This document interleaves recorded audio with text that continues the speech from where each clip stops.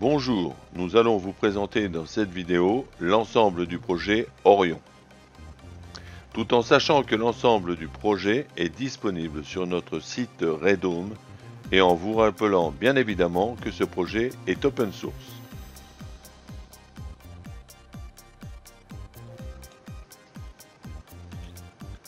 Jetons un œil sur la rotation de la tourelle. La rotation de la tourelle est entraînée par un moteur pas à pas. Le moteur pas à pas, évidemment, comme c'est un moteur pas à pas de grande puissance, nous avons un driver spécifique qui est piloté par une carte Arduino Mega. Cette carte Arduino Mega gère non seulement la partie euh, vitesse, direction, déblocage du driver, mais aussi la position où se trouve la tourelle et le système d'apprentissage. Elle est pilotée par un bus I2C, donc elle reçoit ses ordres d'une carte mère. La base qui reçoit notre fameuse tourelle qui supporte le bras euh, est une base qui a été découpée en quatre parties de façon qu'elle puisse rentrer dans une imprimante où la surface d'impression est de 300 par 300.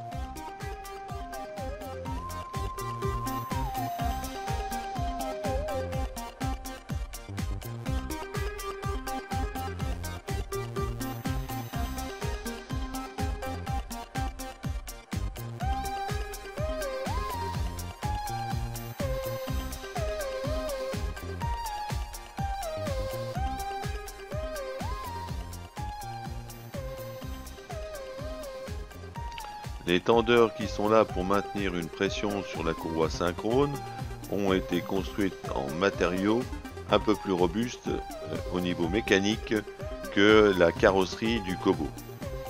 Donc en l'occurrence en Z Ultra.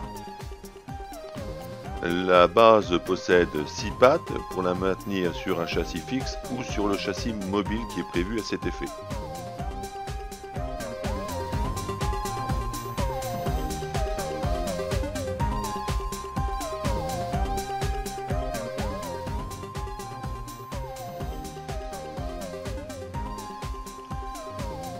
Les compartiments euh, de la base du Kobo Orion ont été prévus avec des trous de façon à pouvoir faire passer éventuellement des câbles d'asservissement.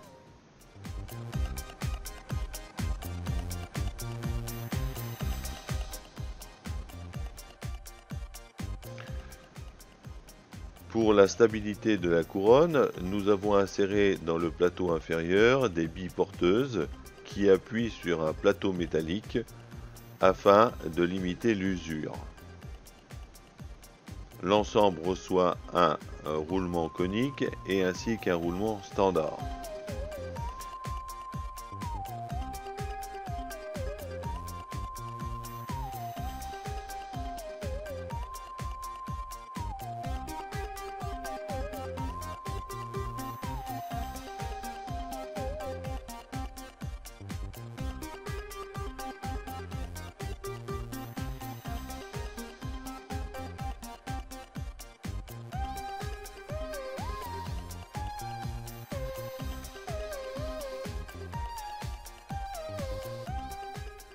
Voici donc le disque métallique inséré sur le support couronne et les billes porteuses sur la partie rouge.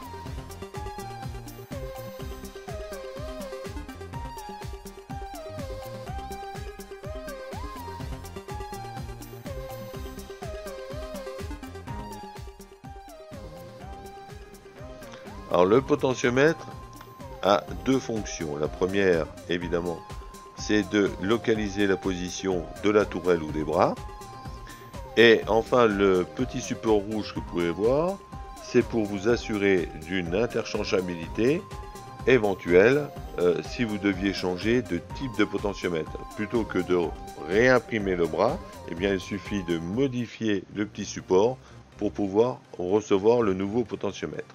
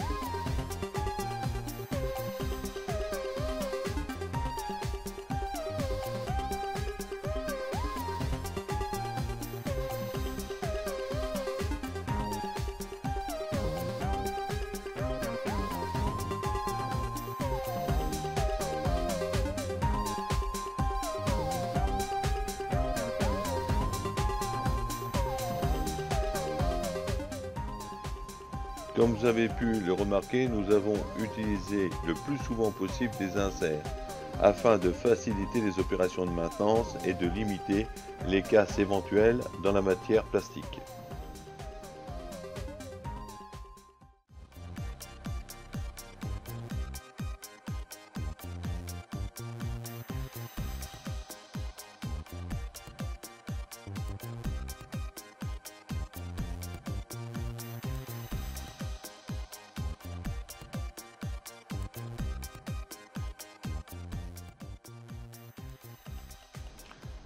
Nous avons prévu des moteurs avec frein, des moteurs pas à pas avec frein, de façon à limiter les chauffes des moteurs pour un courant de maintien.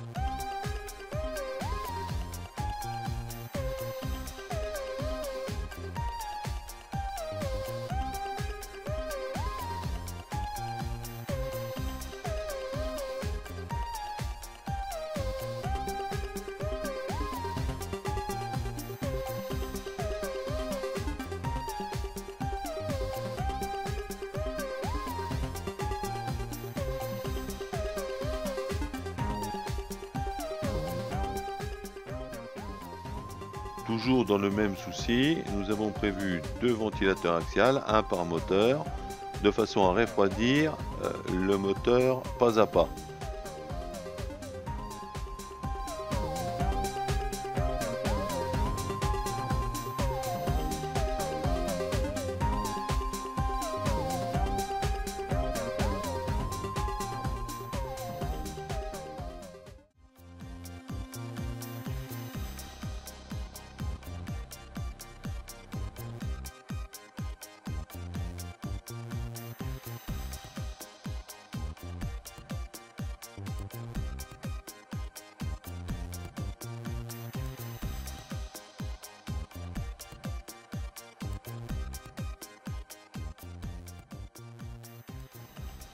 Comme sur tous nos projets, vous pouvez consulter notre site pour avoir des informations complémentaires sur le projet en question. Je vous conseille aussi de vous abonner à notre chaîne YouTube qui possède toutes les informations possibles sur ces mêmes montages.